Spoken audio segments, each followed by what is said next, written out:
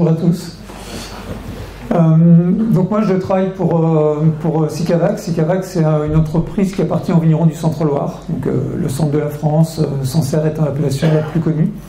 Et en fait je travaille sur tous les aspects de la viticulture et la taille c'est un aspect qui est arrivé un peu par accident quand j'ai découvert l'impact de, la taille sur, sur, les différentes maladies, notamment maladie du bois, puisque notre cépage principal, c'est un des cépages très sensibles qui est, qui est le Sauvignon. Et à force de travailler sur le sujet, en remontant euh, euh, sur des villes de plus en plus jeunes, euh, je suis arrivé à, la conviction que vraiment beaucoup de choses se passent sur les 5-10 premières années. Et c'est ce dont on va parler là. Et le premier point dans la réflexion qu'on peut avoir, c'est de se dire que les choses ont quand même beaucoup changé à plein de niveaux. Hein. Depuis qu'on travaille, on a beaucoup parlé de pépinières. La façon de produire les plants a beaucoup évolué, comme tout. Hein.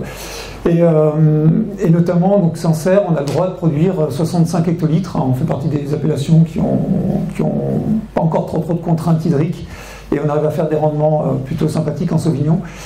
On a le droit de produire à partir de la troisième année. Donc ça, c'est maintenant, mais euh, l'AOC Sancerre a été obtenu en 1936. le cahier des charges a évolué progressivement depuis cette date-là, et je me suis amusé à consulter le cahier des charges de 1936, il n'y a pas très longtemps. En 1936, on avait le droit de produire 35 hectolitres en moyenne lissés sur 5 ans. Et on, produisait à partir de la 8e année. Alors je croyais, que c'était la 7e, c'est la 8e. Alors, c'est pas que les gens ne voulaient pas gagner d'argent à l'époque. Hein. Euh, s'ils avaient pu produire en 13e année, je pense qu'ils n'auraient pas dit non.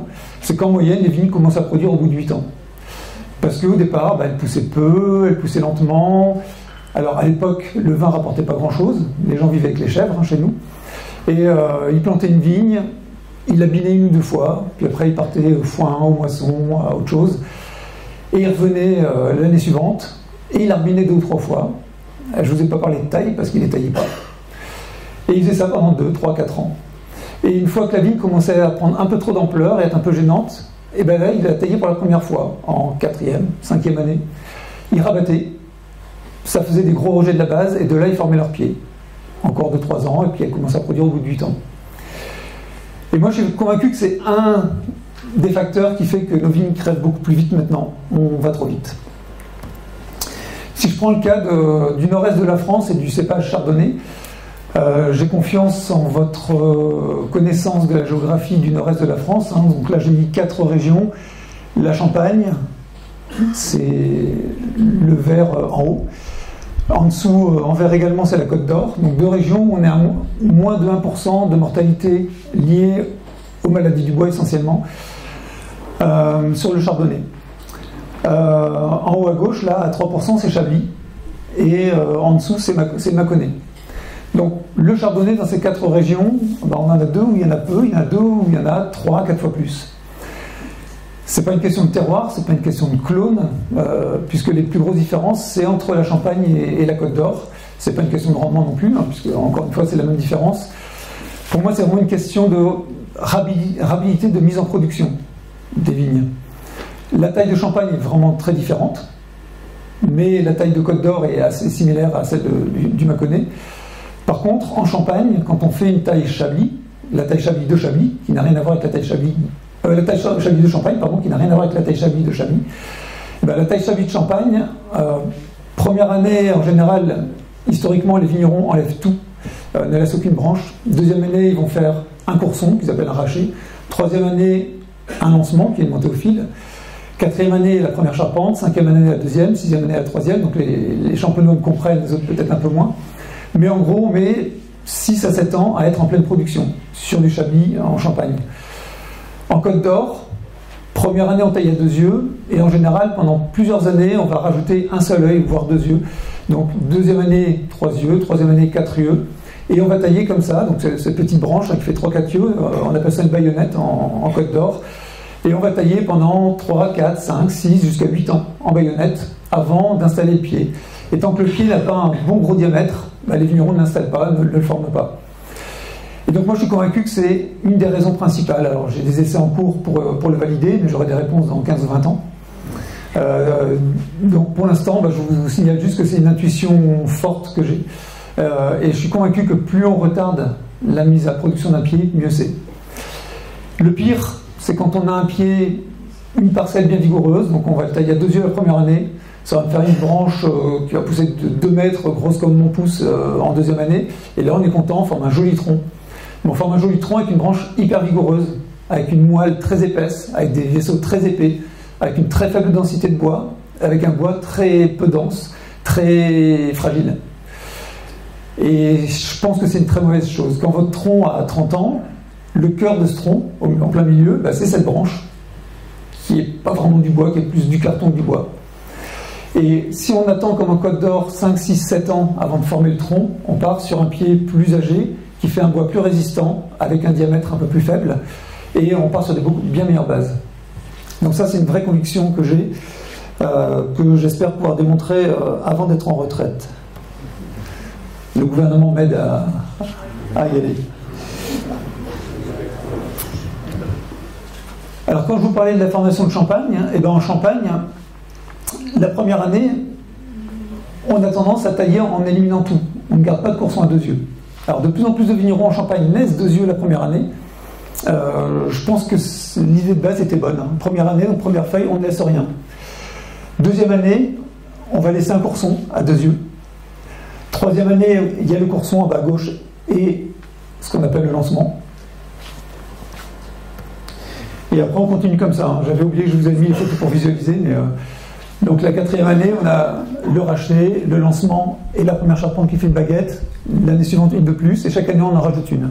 Pour arriver, lorsque le pied est établi, hein, ça, ça vient du cahier des charges de, l'AOC Champagne, avec un rachet, un lancement, une charpente d'un an avec une baguette, une charpente de deux ans avec une baguette, de trois ans. Alors quatre charpentes dans le cahier des charges, maintenant souvent ils n'en mettent plus que trois ou deux. Mais vous voyez que le pied est monté très progressivement, de cette manière-là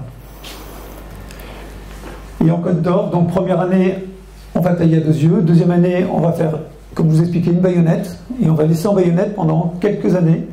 Et toujours repartir chaque année avec la branche du bas, qui est dans le bon flux. Ça, je vais vous l'expliquer. Pour arriver en 6 à 8e feuille, un pied qui ressemble à ça, avec une baïonnette à 3-4 yeux. Et là, on forme le tronc.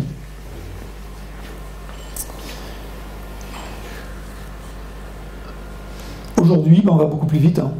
En général, c'est première année à deux yeux, deuxième année, une montée au fil, troisième année, on forme le pied sur les deux branches euh, bien placées, et en trois ans, le pied est formé.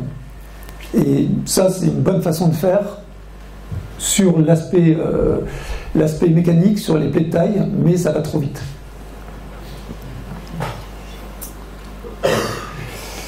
Autre point qui est important, euh, c'est par rapport à l'influence du greffage. Alors, je ne vais pas parler de l'influence du greffage avec la qualité des greffes en pépinière, on, en a parlé un peu tout à l'heure, c'est un point essentiel. Euh, effectivement, il faut partir sur une bonne base, comme l'a indiqué Christophe tout à l'heure. Euh, à partir du moment où on part avec cette bonne base, quoi qu'il arrive, même si la greffe est de bonne qualité, on greffe un greffon à un œil. Donc là, on a une greffe oméga sur, sur la photo, avec un œil qui est greffé. Et euh, quel que soit le système de greffage, hein, on, pratique de la même manière. On, a un porte-greffe d'une certaine taille sur lequel on greffe un greffon à un œil. Comme l'expliquait tout à l'heure Christophe, on va les stratifier, les mettre en, caisse chaude à une certaine température, autour de 35 degrés, 8-10 euh, jours. Et l'œil démarre, le câble de soudure se fait. Cet œil, en fait, en démarrant, sécrète des hormones qui vont stimuler le câble de soudure. Donc le câble de soudure est stimulé du côté de l'œil et beaucoup moins du côté opposé. Il y a cet appel de sève aussi qui est fait par cet œil, qui n'est pas fait du côté opposé.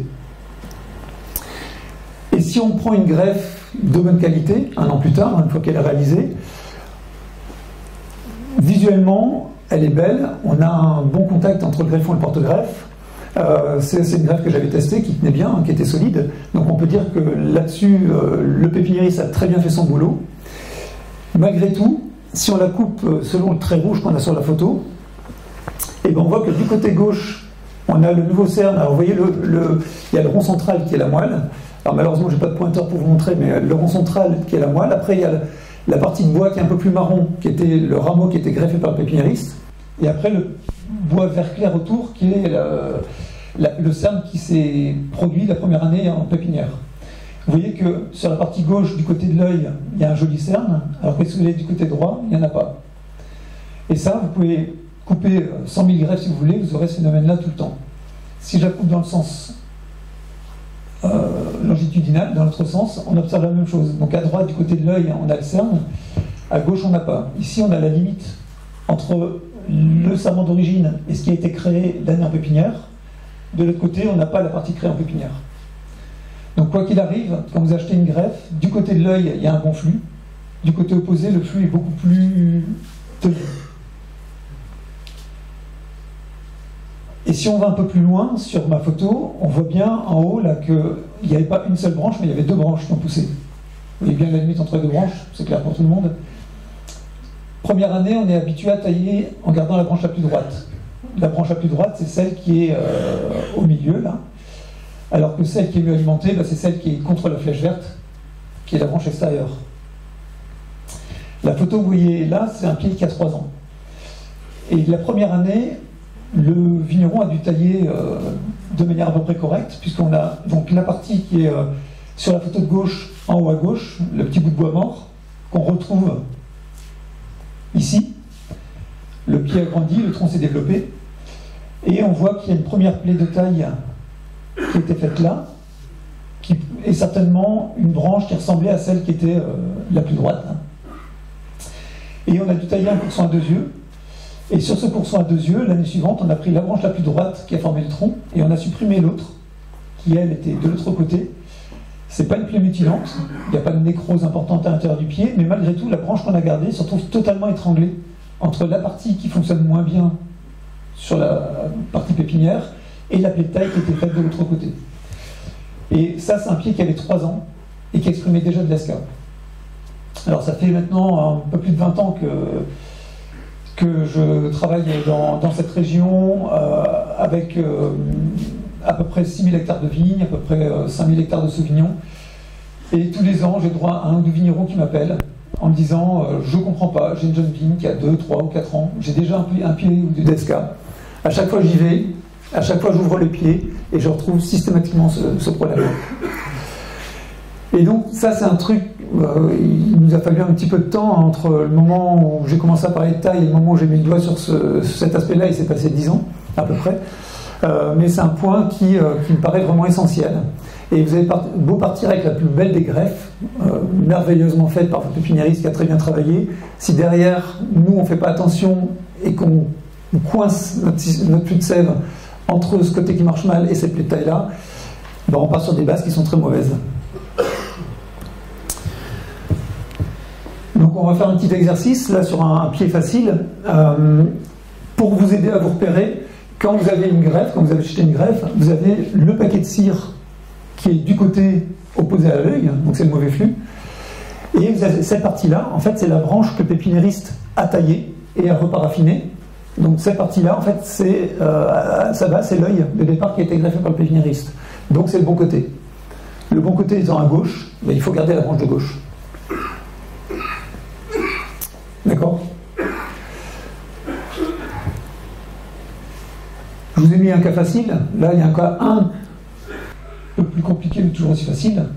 Et si tout le monde a compris, le bouclu est à droite. D'accord Et quand on travaille avec la nature, il n'y a pas que des choses sympas. Des fois, il y a des trucs moins, sympas ou qui vont pas, qui vont pas ce qu'on veut. On voit que la taille du pépiniériste, la branche que le pépiniériste a taillée, c'est celle-ci. Elle est à droite, donc le bon flux est à droite. La première branche est à gauche. Donc si on taille classiquement en gardant la première qui est en bas, bah ça va pas. On pourrait être tenté de se dire, bah, dans ce cas-là, je vais prendre la branche qui est à droite, hein, puisqu'elle est à droite. Mais moi, ça ne va pas non plus. Parce que cette branche qui est à droite, le problème, c'est qu'elle va devoir passer par cette zone-là. Et cette zone-là, en fait, elle vous paraît d'une certaine épaisseur, mais si on enlève la paraffine, c'est un bois très fin. C'est même un bois souvent qui est plus fin ici que celui-ci. Et c'est un goulot d'étranglement. Et si on veut retailler là-haut et repartir de là-haut, eh ben, ce goulot d'étranglement, il ne va, va jamais réussir à se résoudre, il ne va jamais réussir à se résorber, et votre pied va toujours être chétif. Alors si vous faites ça sur une jeune vigne vigoureuse, ça passera, ça marchera. Si vous faites ça sur un pied de remplacement, sur une vigne un peu moins vigoureuse, sur une vigne un peu trop enherbée, c'est directement euh, l'échec assuré. On fait quoi alors? Eh ben, on fait comme en Champagne, on vire tout. Et ça marche. Alors souvent quand on fait ça, ça, fait peur aux gens, hein, mais euh, il y a quelques champenois dans la salle, posez-leur la question. Euh, j'imagine que vous l'avez fait euh, depuis, depuis, longtemps et vous n'avez pas trop de pieds qui crèvent. Hein. Euh, si, ça crevait, les champenois le sauraient et ils auraient depuis longtemps. Donc n'hésitez pas. Moi, dès que, dès que la situation ne me plaît pas sur un, sur un jeune pied, eh ben, vous enlevez tout et ça va forcément, de manière systématique, rejeter des branches et rejeter des branches dans le bon flux. Et en faisant ça, vous partirez au moins sur des bonnes bases.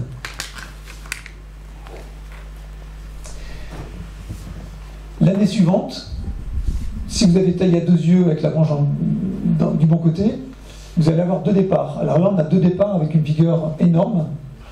Et par rapport à ce que vous expliquiez juste avant, si je décide de former mon tronc, donc normalement on voit encore le paquet de cire qui était ici, donc le mauvais flux, mais à partir de la deuxième année, souvent, vous pouvez faire confiance à la plante et les plus jolies branches sont dans le bon flux. Il y a une chose qui met le bazar dans tout ça, c'est le gel de printemps. Quand ça gèle au printemps, bah, des fois la bonne branche gèle et ce qui repousse, ça repousse où ça peut et c'est pas toujours notre, notre flux optimal. Mais s'il n'y a pas eu ce souci-là, normalement les plus jolies branches sont dans le bon flux. Donc là, on voit que le paquet de cire est à gauche, c'est le mauvais flux, et on voit que la plus jolie branche est à droite. Et il faut absolument garder cette branche de droite. Et si vous ne gardez pas la branche de droite, mais vous gardez la branche de gauche, vous vous retrouvez dans le cas de mon pied de 3 ans qui avait de l'esca, avec le côté gauche qui fonctionne moins bien, la plaie de taille à droite, et cette branche que vous avez gardée au milieu qui est étranglée. Et donc, moi j'ai le sentiment que si on choisit la branche de gauche, ce que j'étais le premier à faire il y a encore une quinzaine d'années, hein, là c'est presque la pire plaie qu'on va faire dans la vie du cèpe. Et cette branche avec la flèche verte, là, bah, elle est jolie, on pourrait être très tenté de former le tronc avec. Mais je pense que c'est une très mauvaise idée. Déjà parce que le pied est très jeune, et parce que cette branche est beaucoup trop grosse, donc avec une grosse moelle, donc avec des gros vaisseaux, donc avec des faibles densités de bois, donc un bois fragile. Et donc il faut garder celle de droite, la flèche verte, mais faire en sorte de la tailler suffisamment court pour repartir avec un œil qui va être quelque part par ici, pour l'année suivante former le trou avec une branche d'un diamètre normal. Ça décale d'un an, on perd un an, alors on perd un an dans la formation du pied, on perd pas complètement un an de récolte. Et on a encore de la marge par rapport à 1936. Après, c'est à vous de trouver votre réalité économique. Euh, je ne vous dis pas d'attendre 8 ans comme en Côte d'Or, hein, comme dans le Grand Cru, euh, comme certains peuvent faire, mais il euh, faut, que vous trouviez votre équilibre à vous en fonction de vos compromis. Hein. J'étais en Bretagne il y a, deux semaines. c'est que des nouveaux vignobles. les vignerons ont 100% de jeunes. Ils ne vont pas attendre 8 ans avant de former leur pied. Euh, économiquement, ils ne tiendront pas jusque-là. Donc c'est à vous de trouver votre équilibre dans tout ça. Mais je suis convaincu que plus on attend, mieux c'est. Sur la photo de droite, le vigneron en première année n'avait pas fait le bon choix. Il a pris la branche qui était euh, du mauvais côté, sur laquelle il a fait un courson. Il y a deux, donc deux branches qui ont poussé dessus, hein, deux branches de gauche. Il y a une branche qu'il a éliminée qui était plus à droite, mais il n'a pas mutilé. Il a gardé la couronne. Un œil est reparti sur cette couronne. Et quand vous voyez le diamètre de la branche de droite par rapport aux deux autres, on voit bien que le flux est là. Et donc il n'y a pas de question à se poser, la branche à garder, c'est absolument celle de droite. Et par contre, il y a une chose essentielle, surtout quand on mécanise son vignoble, bah, il faut avoir des pieds droits. Et moi je veux des pieds droits. Sur ce pied-là, bien attaché, ça va faire un léger coup au départ, le pied va grossir et ça ne verra plus, le pied sera droit. Mais par contre, attention à faire en sorte que votre pied soit droit. C'est essentiel. Même cas de figure, donc ça c'est juste pour vous laisser vous entraîner. Tout le monde voit?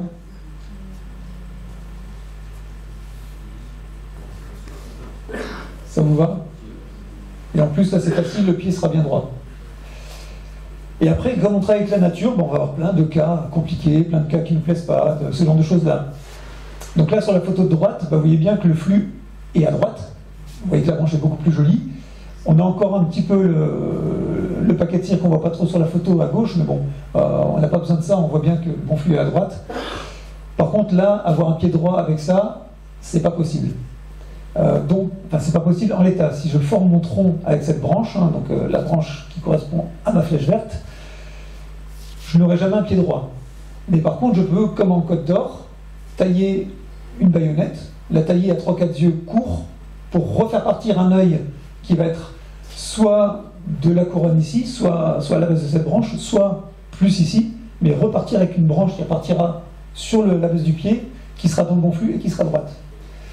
En prenant son temps, on est sûr de partir sur des bonnes branches dans le bon flux et droite. Mais il faut accepter de prendre son temps.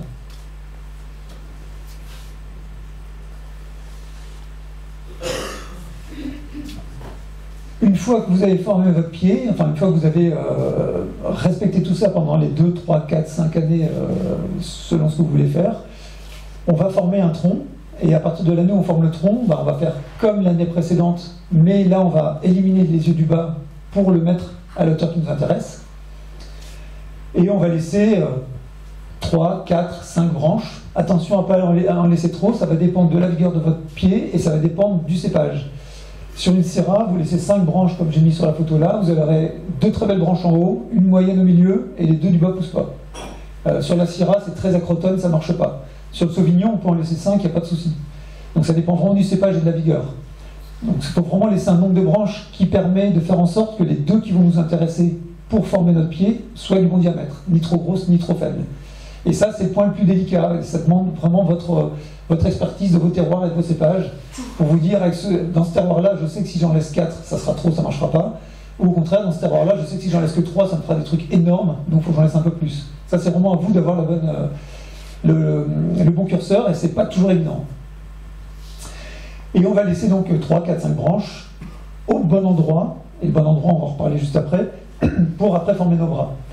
Et ce que j'aime bien faire, moi, c'est plutôt que d'aller couper euh, juste en dessous du fil, juste au-dessus du fil pour attacher comme j'ai fait en haut à droite, ben, j'aime bien laisser plus long, faire sauter tous les yeux sur la partie plus longue que je vais laisser et aller enrouler sur le fil. Et ça permet de bien tenir le pied et ça permet aussi de retravailler un peu cette baguette des fois pour ramener, si les yeux ne sont pas dans l'axe les ramener dans l'axe en, en les retravaillant un peu. Et les yeux qu'on va laisser, comme je vous disais, ben, ça va dépendre de ce que vous voulez plus tard. Et pour moi, un des soucis qu'on a euh, à l'heure actuelle, hein, depuis, euh, depuis 20, 30, 40 ans, je ne sais pas, c'est qu'on n'a plus trop de projections sur du long terme. Quand on taille, on taille pour former notre pied, pour qu'il soit à peu près droit, pour qu'il soit à peu près dans l'axe, euh, qu'il ne s'allonge pas trop, qu'il me fasse ma récolte pour 2024.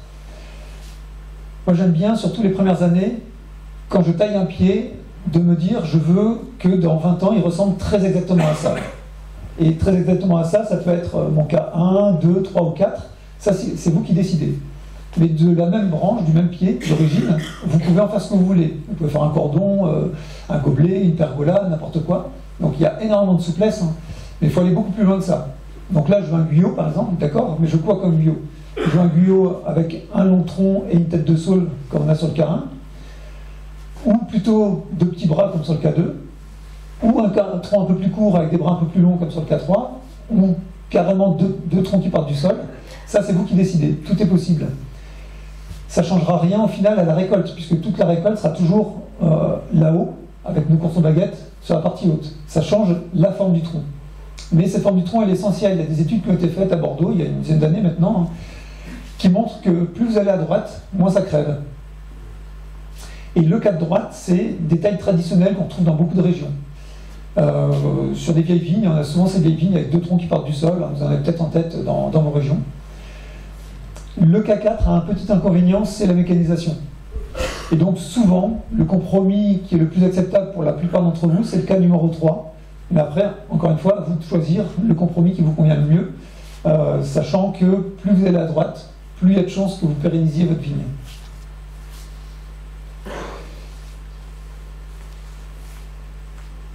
Donc même chose pour le cordon, hein. je ne vais pas détailler, mais c'est les mêmes principes. Plus vous allez former votre cordon bas, plus il sera résilient. Souvent on a tendance en cordon double à faire le cas du milieu, alors qu'un cas comme à droite ou un peu entre les deux, intermédiaire, ben, ça sera plus intéressant pour la pérennité du cep, ça sera plus facile à l'installer en plus. Une fois que vous avez euh, décidé de votre forme, donc on va garder les deux branches pour former de chaque côté ben, qui sont à la hauteur à laquelle on va former nos bras. Hein. Si j'estime que la branche du bas est trop basse, je vais l'éliminer. Donc cette branche-ci, là, je décide qu'elle est trop basse, je l'élimine. Il faut être très vigilant à ne pas faire de plaies mutilantes. Je ne vais pas détailler tout ça aujourd'hui, mais, euh, mais je pense que la plupart d'entre vous voient de quoi je parle. Et on va prendre, donc là, dans mon cas de figure, euh, en partant du bas, les branches numéro 2 et 3. Et si je voulais plus haut, ben, je prendrai les branches numéro 3 et 4. Et on va faire, par exemple, pour son baguette, mais on peut très bien faire aussi courson baguette dans ce sens-là. Ce qui choquait beaucoup à une époque, un peu moins maintenant, puisque certains d'entre vous commencent à être habitués, mais euh, on nous a quand même tous appris, les anciens, euh, les, plus anciens parmi nous, euh, de ne jamais mettre un courson au-dessus de la baguette. Et à chaque fois qu'on me dit un, truc comme ça, moi j'aime bien comprendre. Donc la question que je pose tout le temps, c'est pourquoi? Alors pourquoi on met jamais un courson au-dessus de la baguette? C'est que quand on élimine la baguette, on fait une pile dessus, et donc le courson est dans le conflit de sève. Sauf que cette année-là, en fait, on est en train de créer nos deux bras. Donc pour moi, il n'est pas au-dessus, il est sur l'autre bras. Et je vais vous expliquer par contre pourquoi moi j'aime mettre le courson au-dessus de la baguette cette année-là, et cette année-là uniquement. Bah, c'est pour rééquilibrer mon pied. Parce qu'au départ, je veux former un pied avec deux bras à peu près équilibrés, mais il y a un décalage au départ, inévitable, puisque les deux bras sont pas au même niveau. Et donc à la limite, j'aimerais que le plus bas remonte, et je veux surtout pas que le plus haut remonte encore. Si j'applique mon cas du haut, je maîtrise mal les premiers yeux sur la baguette. Et j'ai un risque que si ces premiers yeux ne démarrent pas, bah, mon bras de droite remonte encore plus haut. Alors qu'avec mon cas de gauche, enfin mon, pardon, mon deuxième cas, euh, si mes premiers yeux ne démarrent pas, et d'ailleurs je peux faire exprès de les supprimer pour qu'ils ne, démarrent pas, j'ai un pied beaucoup plus équilibré. L'autre possibilité aussi, hein, plutôt que de faire un courson et une baguette, bah, c'est de faire deux petites baguettes. Ce qui marche aussi très bien. C'est un peu plus long, parce que ça en fait deux au lieu d'une, ça fait un peu plus dur à faire sauter, ça fait deux branches attachées au lieu d'une. Ça permet surtout, avec deux baguettes, de, si les pieds sont pas ramenés dans l'axe bah, de les retravailler et de les ramener un peu mieux. Et plus vous partez de bas, plus il va falloir être vigilant à un autre paramètre qui est l'écartement entre vos deux bras. Et ça, pareil, c'est à vous de décider quel écartement vous voulez entre vos deux bras. Est-ce que vous voulez deux bras très serrés, un peu écartés, très écartés Ça, c'est vous qui choisissez. Si vous avez 1m50 entre pieds et que vous êtes en guyot double, avec deux coursons, deux baguettes, donc globalement pas mal d'entassements sur la tête, bah là on va chercher à écarter. Au contraire, si vous êtes à 80 cm entre pieds, donc très serré, bah là plus vous allez écarter, plus vite vous allez être dans le pied d'à côté et ça posera problème. Donc là on va, chercher à être très serré. Et pour resserrer, il y a une technique que j'aime bien, c'est mon cas de bas, d'en bas à droite. Plutôt que de plier la baguette de droite à droite et la baguette de gauche à gauche, je les inverse et en les inversant, après, on peut jouer en les enroulant sur le fil, les faire glisser sur le fil pour gérer presque au millimètre près l'écartement entre les deux bras. Donc si vous voulez vous amuser à essayer de faire ça, vous allez voir que c'est un peu long. Moi j'estime qu'on est à plus 30% de temps de taille cette année-là. Bon, c'est pas négligeable, hein. c'est-à-dire que c'est des tailles rapides en général à ce moment-là. Chez nous on est de l'ordre de 40 heures hectares, on passe à 60, donc c'est pas négligeable. Et j'estime que ces 20 heures hectares, je les regagne largement les deux années suivantes, parce que les pieds sont tellement bien tous en place et faciles, que derrière, c'est très très facile à retailler.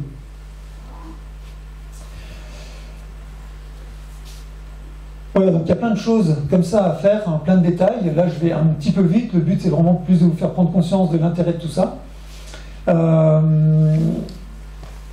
je vais m'arrêter là sur la taille. Je vais vous parler aussi des méthodes curatives dont, dont m'a parlé, euh, que, que souhaitait que, que j'aborde. Après, on pourra en discuter si vous voulez, euh, sans problème. Parce que globalement, un, des soucis majeurs qu'on a en termes de pérennité de, de, de, vigne à l'heure actuelle, c'est les maladies du bois. Il y a certains cépages très sensibles. Hein. Également dans la région, vous avez quelques cépages très sensibles. Et euh, on peut essayer par la taille de repartir sur des meilleures bases. on peut, par du préventif, améliorer les choses, mais avec un délai euh, assez long. Hein. Vous n'allez pas demain bien tailler et ne plus avoir de problème.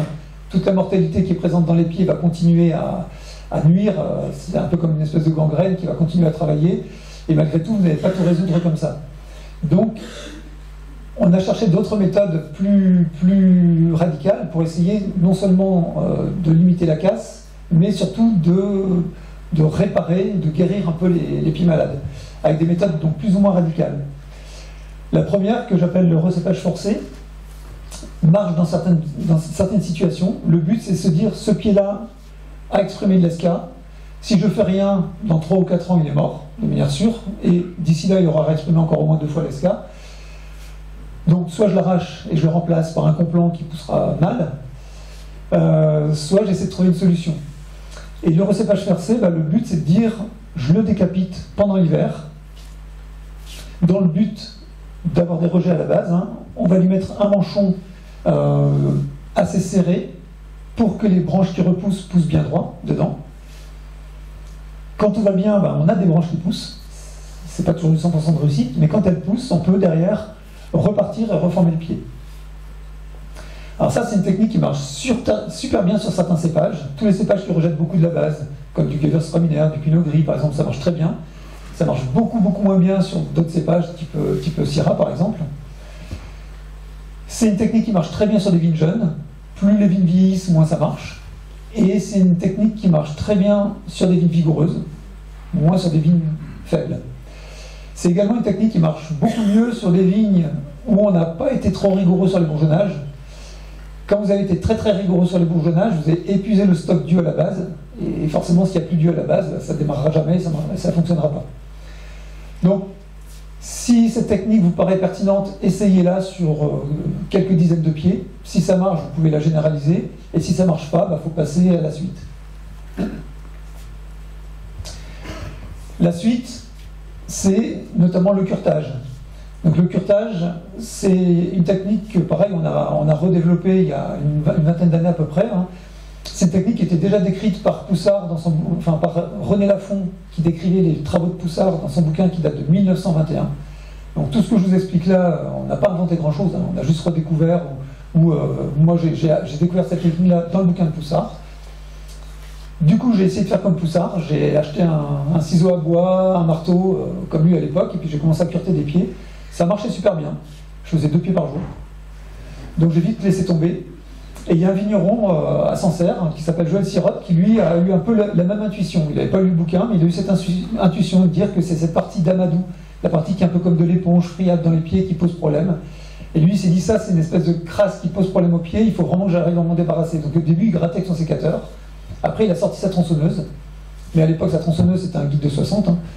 Euh, donc je trouvais ça un peu dangereux, un peu risqué. Mais ça marchait. Et, euh, et on a eu la chance d'avoir, depuis une dizaine d'années, une miniaturisation du matériel et des tronçonneuses sont passées à 50, puis à 40, puis à 30, puis même à, 20 euh, en taille de guide. Et donc des outils de plus en plus fins, de plus en plus légers, de plus en plus précis, qui nous ont permis de développer la technique. Le principe, en fait, c'est d'aller chercher l'amadou à l'intérieur du pied, comme un dentiste va aller chercher une carie. Donc on va ouvrir le pied. Pour ça, il faut bien identifier où est le bois mort, où est le bois vivant. Euh, ça demande un peu de pratique, mais ça vient assez vite. Une fois qu'on a bien identifié un pied comme celui-ci, on voit bien que tout le milieu est mort là. Hein. Donc on va aller ouvrir avec notre tronçonneuse et ouvrir comme une part de camembert pour dégager cette partie morte. Alors au début, quand on n'a pas l'habitude, bah, c'est assez impressionnant. Hein. Là, le pied a été ouvert, donc avec juste deux coups de tronçonneuse. Et quand vous voyez l'espèce de cercle euh, que vous voyez ici, hein, ce, cercle-là, on voit que l'amadou pénètre en fait et, et, monte dans le bras de la même manière de l'autre côté.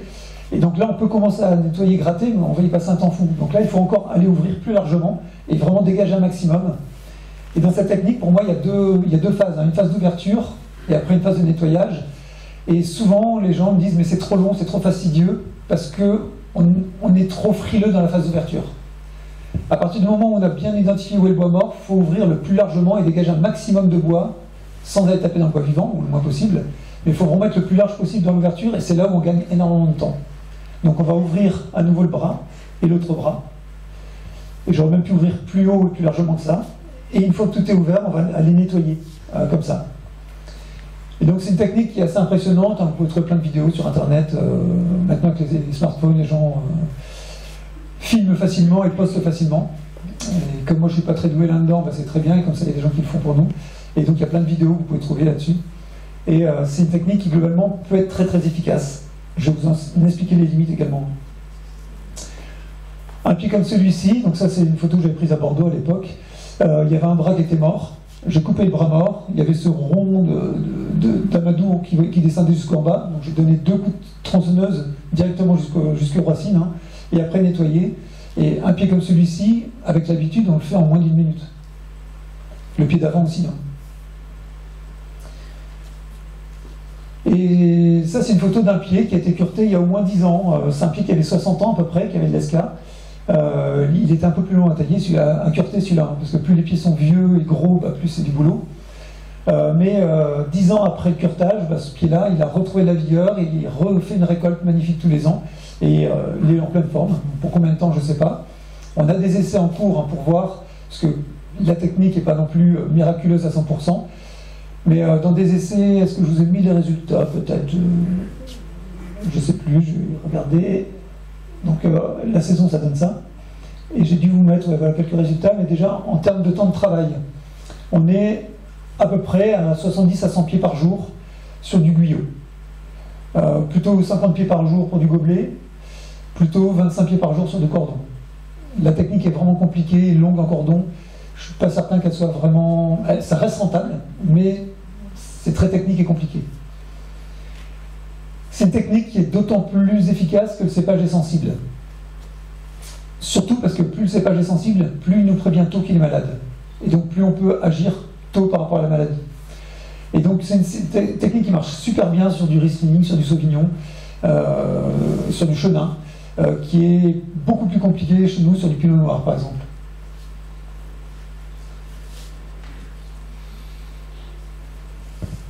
Et donc là, je vous présente un essai hein, qui a été mis en place en 2012 euh, sur une parcelle de Sauvignon, et j'ai choisi volontairement une parcelle qui à l'époque avait 35 ans à peu près, euh, très mal taillée, très compliquée. Euh, donc je me suis mis dans les situations les plus compliquées et j'ai cureté tous les pieds, même ceux où je savais qu'il était plus qu'au bout du rouleau, j'ai tout cureté. Et j'ai ramené les résultats sur, sur 1000 pieds pour avoir des chiffres simples. Hein. Et donc je ne sais pas si vous voyez tous les chiffres, mais en gros, ce qui est intéressant de voir, c'est que euh, en première année, donc des pieds qui sont malades auxquels on ne fait rien, un an plus tard, il y a 490 pieds sur 1000, donc 50% des pieds qui sont sains, un an plus tard. Donc on peut se dire, bah, tiens, quel intérêt de les, arracher, puisque un an plus tard, il, y en a quand même la moitié de vivants et sains. Sauf que vous revenez 5 ans plus tard, il en reste plus que 23 sur 1000, donc 2% de sains, donc 98% de, de remalades ou morts.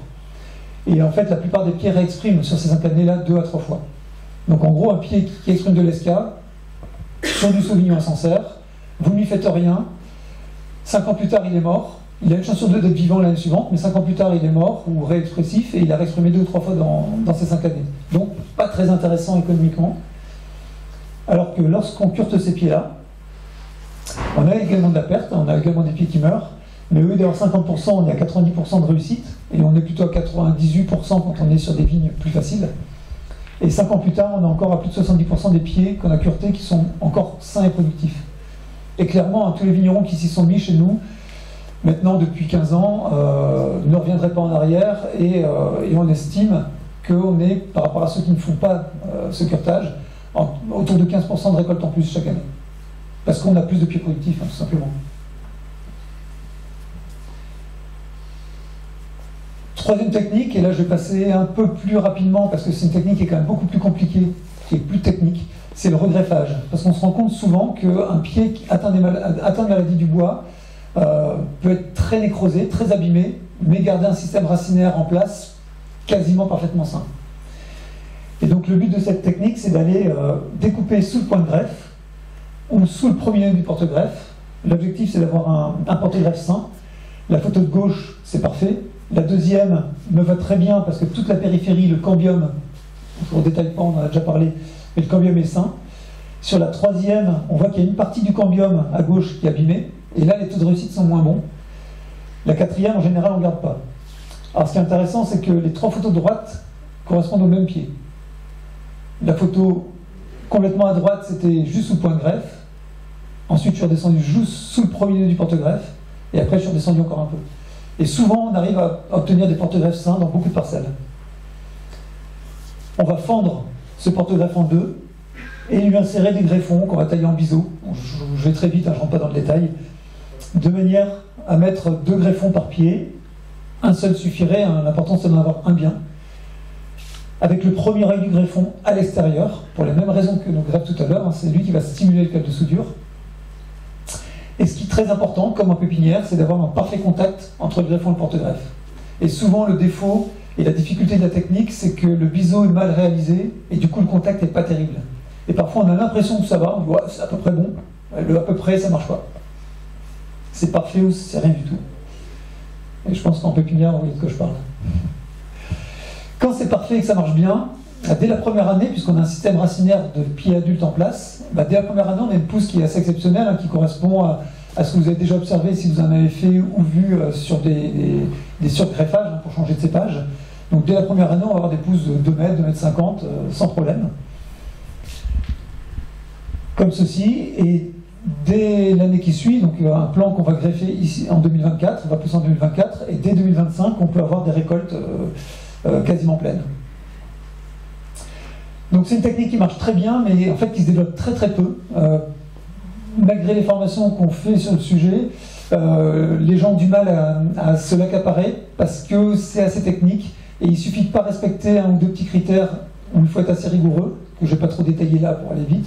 Mais si vous ne respectez pas tous ces critères et qu'il y en a un ou deux qui sont pas qui sont que moyens, ben, on passe de 90 à 10% de réussite, puis on n'a pas envie de recommencer. Donc si vous vous y lancez, il faut vraiment démarrer sur des petites quantités et être très rigoureux dans la façon de faire.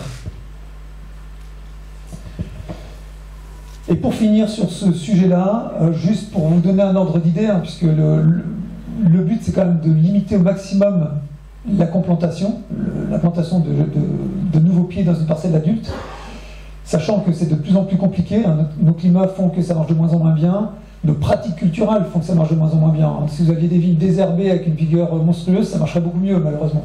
Mais avec plus d'enherbement, avec moins de vigueur, plus de concurrence, une ville plus équilibrée, on s'aperçoit que nos complants ont beaucoup, beaucoup de difficultés. Donc nous, on fait beaucoup d'essais pour essayer de trouver des façons d'améliorer la reprise des complants. Euh, avec des fois des surprises, hein. il y a des produits du commerce, euh, des, produits à base de tourbe, hein, des, des terreplantations. Plus on en met, plus ça crève. Donc faites très attention à ce que vous mettez. Euh, euh, il y a des produits qui donnent des améliorations, il y a des produits qui empirent les choses. Euh, il y a peut-être d'autres techniques également. Pareil, je ne vais pas rentrer dans le détail, mais notamment les premières années, une chose essentielle en complant, c'est de laisser au moins 3-4 cm de racines. Sur une jeune plantation, ce n'est pas forcément nécessaire, il n'y a pas de concurrence le pied va s'installer. Sur un complant, c'est quasiment indispensable, selon moi. Et simplement pour vous donner un, ordre d'idée par rapport aux coûts, euh, puisque vous les connaissez un peu les coûts, mais on ne les visualise pas toujours euh, aussi bien. Alors ça c'est pareil, hein, comme, tout à l'heure, euh, il y a une remarque, bah, ça c'est des coûts pré-Covid. on peut rajouter 20% je pense. Hein. Mais en gros, faire un complant sans parler d'arrosage, parce que historiquement chez nous ça ne se fait pas, donc je ne l'ai pas estimé, mais un arrosage on peut estimer un bon euro par arrosage, par plan. Mais sans arrosage, on est déjà à 8, 9 euros, presque 10 euros. Rien que le fait de complanter. Donc l'achat de la greffe, l'achat du matériel de protection, l'action d'arracher l'ancien pied, de, replanter de nouveaux pieds, tout ça, vous cumulez tout, vous êtes quasiment à 10 euros. Et si vous rajoutez des arrosages, bah, vous explosez euh, encore plus le coût.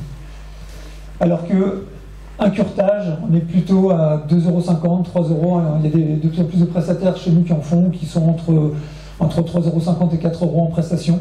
Donc quand vous internalisez ça au domaine, ça coûte moins cher. Sur du guyot, type euh, Sancerre, hein, bien sûr. Euh, si vous faites ça sur du gobelin d'Ardèche, ça ne sera pas les mêmes coûts, parce que ça ne sera pas les mêmes temps. Et le regreffage, on est plutôt entre 3 et 4 euros. Sachant que sur du regreffage et du curtage, on garde le système racinaire du vieux pied, on garde la qualité du vieux pied, on a un retour en production beaucoup plus rapide, enfin, tellement d'avantages que euh, avant de complanter, c'est dommage de ne pas au moins essayer ces autres techniques. Voilà, je m'arrête là sur ce sujet-là. Tu vois, j'ai condensé un peu pour, être, euh, pour revenir à l'heure à peu près. Ça permettra de discuter un peu plus sur les autres sujets qui sont aussi intéressants. Je vous remercie.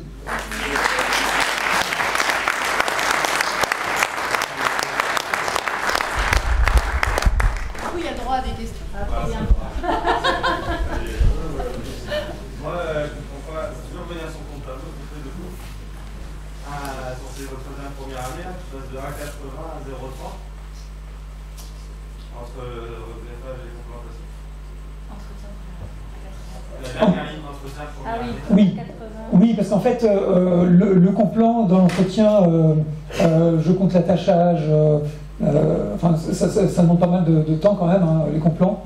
Le regreffage, en fait, je m'en occupe pas. Je lui fais rien. J'ai, alors, j'ai, fait une greffe à deux yeux, ou trois yeux. J'ai mis un manchon avec de la terre, et je m'en occupe pas.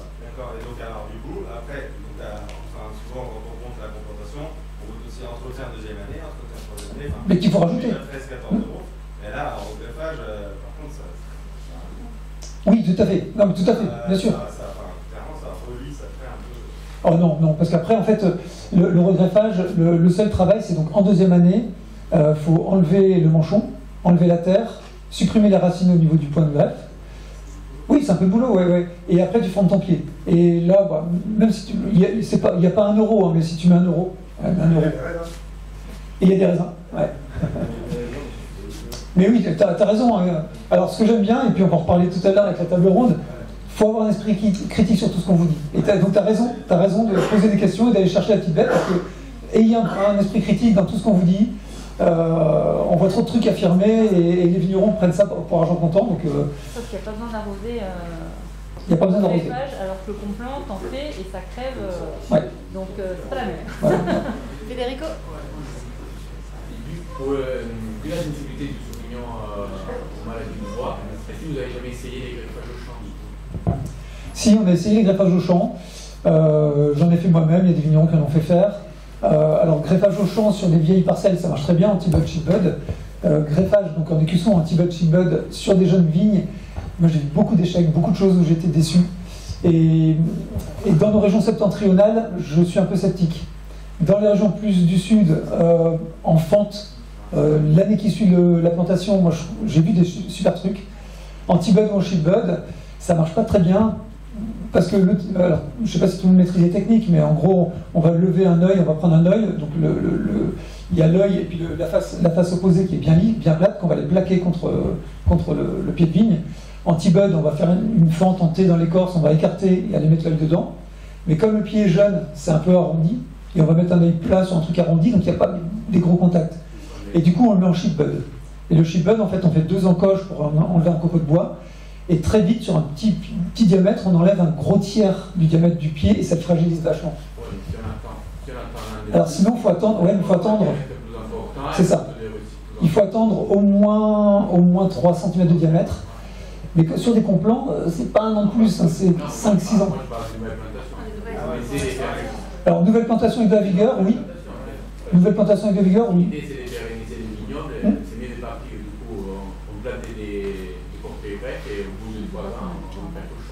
Oui, alors pour, je dis, hein, pour l'instant, ce que j'ai vu, même sur des nouvelles plantations, anti-bud ou anti-bud, autant je trouve que la technique est super sur des vignes adultes, sur des jeunes, je suis un peu mitigé de ce que j'ai observé sur le terrain. En fente, j'ai vu des super résultats, donc en fente, en fente ou en anglaise, hein, peu importe. Euh, j'ai vu des super résultats, euh, mais euh, c'était vraiment des petites expériences, c'était souvent des, ouvriers espagnols qui maîtrisent mieux la technique que nous ou l'italien, alors qu'en France, il y a plus grand monde qui la maîtrise, et qui l'ont fait, et ça a donné des bons trucs. Donc, est-ce que c'est possible d'élargir ça à, de nombreuses personnes? Il faut les personnes qui maîtrisent bien la technique pour le faire. Auquel cas, pourquoi pas? En fente, sur des petits diamètres En fente, il faut le même diamètre en fait. Même diamètre greffe ou porte-greffe. Excusez-moi, si, si, pardon. Euh, si au moment du greffage, on laisse deux yeux, ou en laisser qu'un, et d'avoir ce problème d'un côté qui se nécrose et de l'autre qui pousse Est-ce qu'on ne peut pas équilibrer justement? Ah, C'est une très bonne question qu'on s'est posée, on a fait des essais. Alors j'ai fait des essais en me disant, c'est quand même bizarre que les anciens l'aient pas fait. Ils n'étaient pas cons, si c'était vraiment bien, ils l'auraient fait. Et puis en le faisant, on a compris pourquoi ils ne le font pas, ou, parce que je pense qu'ils l'ont essayé aussi. En fait, le deuxième œil est tellement loin qu'il n'y a pas l'effet hormonal. Et d'ailleurs, il y a des vieux écrits qui montrent hein, que c'est de l'ordre de... Ah, ça joue aux quelques millimètres. Hein. Plus on va greffer l'œil très proche du point de greffe, plus les taux de réussite sont bons. Plus on s'en éloigne, plus on perd en taux de réussite. Et donc le deuxième est trop loin. Et surtout, après, du coup, ça nous fait un gros greffon. Et donc le bras de levier, comme disait Christophe, on les manipule une quinzaine de fois dans leur euh, première année. Et à chaque fois, il y a des petits chocs. Hein. Et plus le bras de levier est long, plus le choc a un impact important au niveau de point de greffe. Et on, en décollait 80%.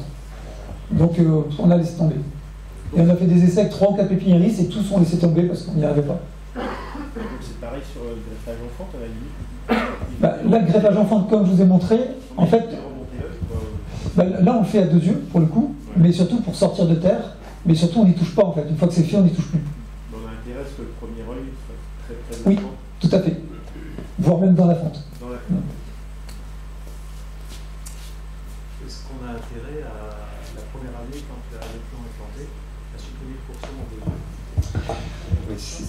la question c'est est-ce qu'on a intérêt dès la première année, quand on plante, à, raccourcir le de pépiniériste? Ben, Moi j'aime bien. De partir directement de la couronne et finalement laisser un flux de sève euh, naturel, euh, plus naturel qu'une couronne qui risque de se déclencher après avec les deux yeux qu'on laisse. Ouais, moi je le fais, et Euh, surtout en pépinière, euh, je le fais systématiquement quand le pépiniériste taille un peu long.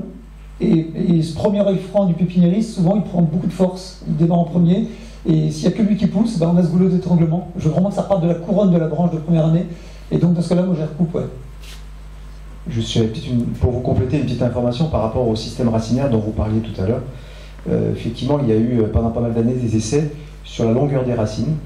Euh, la Chambre d'agriculture du Vaucluse a travaillé assez précisément là-dessus, et notamment des essais qui sont revenus par rapport à des plantations machines où on avait des racines beaucoup trop longues, et en fait on avait un chevelu racinaire qui venait se positionner à l'horizontale et qui créait de gros problèmes. Donc aujourd'hui, la distance, apparemment, il n'y a rien de, vraiment euh, précis, mais au moins 5 cm, ça paraît euh, intéressant, et surtout dans les, les complantations, où euh, on a besoin d'aller chercher un petit peu d'humidité plus rapidement qu'avec une racine à un demi-centimètre, un centimètre, où le porte-greffe a du mal à, récupérer cette humidité du sol euh, naturellement tout seul. Oui, Et c'est encore plus vrai pour les, grosses racines comme le 41 le 420, ouais, ouais, complètement. Vous parliez euh, aborder le- la taille des avait une taille de formation, euh, ce qui était abordé dans le, dans le livre du SICAV. Euh, bah, les- en fait, les complants, globalement, les principes vont être les mêmes que ce que je vous ai indiqué là. On va essayer de partir avec les branches dans le bon flux. Mais là où il faut être encore plus rigoureux sur les complants, euh, c'est de surtout pas les monter trop vite. La grosse erreur qu'on fait, c'est dès qu'il y a une branche d'un diamètre à peu près sympa, hop, on monte le tronc pour sortir des outils, sortir de l'herbe, pour plein de raisons qui, qui se comprennent. hein. Mais euh, si on le monte trop vite sur un, sur un pied trop faible, on le met à genoux tout de suite.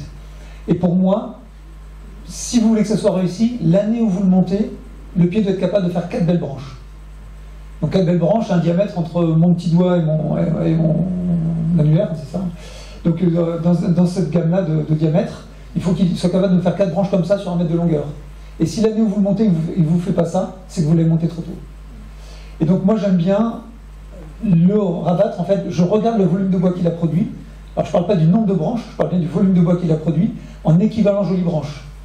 Donc, qui me fait une, deux, trois, quatre, cinq branches, peu importe, hein, je les réunis en équivalent jolie branche. S'il m'a fait l'équivalent d'une jolie branche, je leur mets à deux yeux.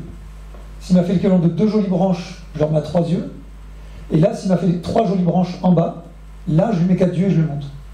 Donc un complant, tant qu'il n'a pas fait trois jolies branches en bas, on ne le monte pas.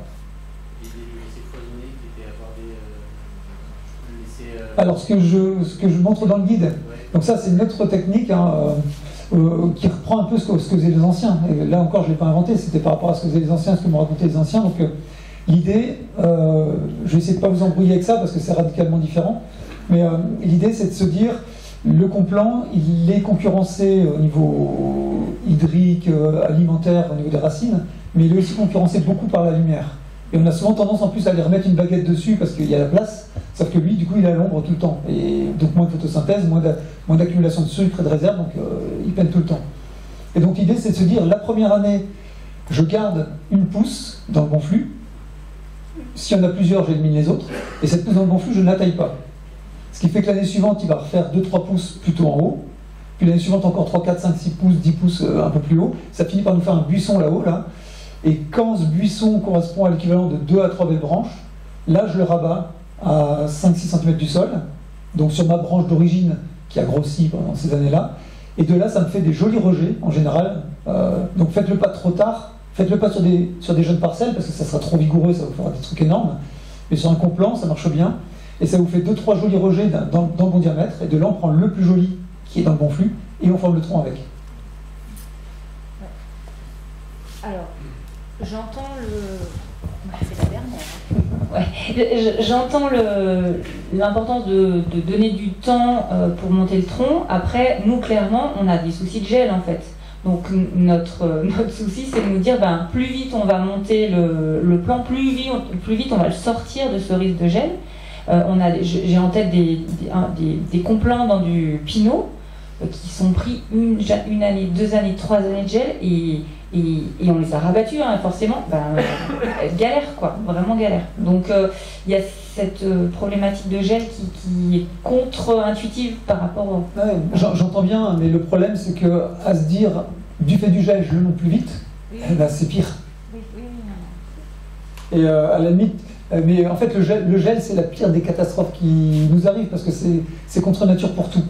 On a tendance à vouloir tailler plus tard. On nous disait rien, taille tôt, taille tard, rien ne vaut la taille de mars, mais il faut changer de dicton. Hein, taille tôt, taille tard, rien ne vaut la taille de février maintenant. et on a fait des essais, nous, y a, qui, ont 20 ans maintenant déjà. À l'époque, on, utilisait des produits chimiques, on mettait de l'escudo, je ne sais pas certains d'entre vous ont connu, un produit qu'on appliquait avec un badigeon, là, avec un, une espèce de, euh, truc comme pour, serrer les chaussures sur, les, sur les de taille. Et euh, c'était pour l'otypiose à l'époque. Et on savait aussi que la taille tardive limitait l'otypiose. Donc moi j'ai eu des essais avec un témoin, euh, taille, précoce témoin, taille précoce escudo et taille tardive. Et effectivement, la taille tardive limitait l'otypiose, l'escudo aussi limitait l'otypiose, mais par contre, dix ans plus tard, la taille tardive, c'est tout ce qui a crevé en premier avec l'esclave. Et pour moi, c'est une question de réserve en fait. Plus on taille tard, plus on saigne le pied, plus on l'épuise, et plus on le rend sensible à, tout le reste. Et donc la taille tardive qu'on fait pour le gel, qui se comprend par rapport au gel, attention, il y a des effets pervers, et notamment une taille tardive sur des vieilles parcelles qui sont un petit peu limite en vigueur, ça les met à genoux, et, euh, en a des pertes de récolte énormes. Mais c'est pas pour ça qu'il faut rien faire, mais il faut rester prudent. On t'entend pas. Non, je pense désolé. Une bonne époque pour faire le Regreffage, ouais, euh, avant la fleur, idéalement, fin, entre fin avril et, mi-juillet. Et bon, après, vous avez autre chose à faire. Donc, fin avril, début mai, c'est bien. Euh. Oui, ça fait partie des facteurs qui peuvent poser problème. Ouais. L'incidence.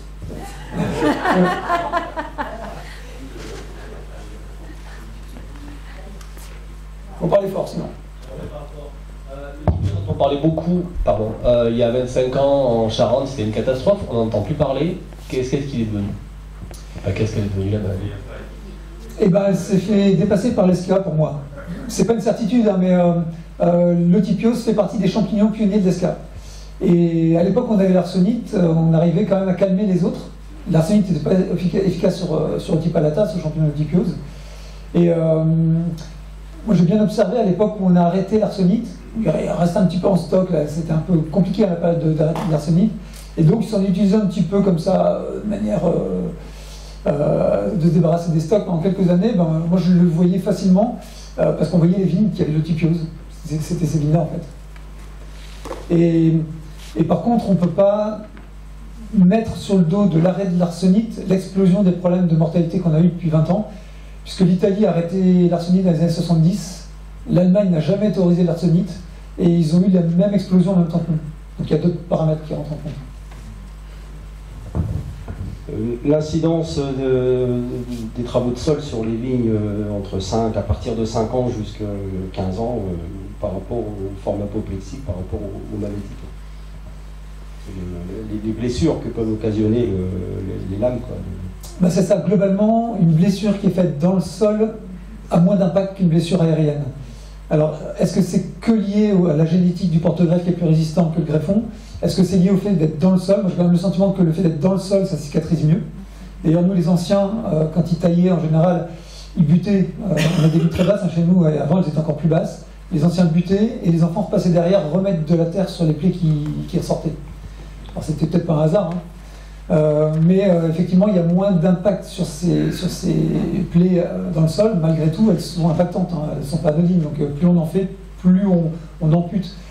ces maladies-là, moi, je les vois vraiment comme une somme de facteurs négatifs. C'est pas un paramètre et demain on trouvera pas le paramètre qui va tout résoudre. C'est une accumulation de, choses qui affaiblissent les pieds et ça, ça, peut en faire partie.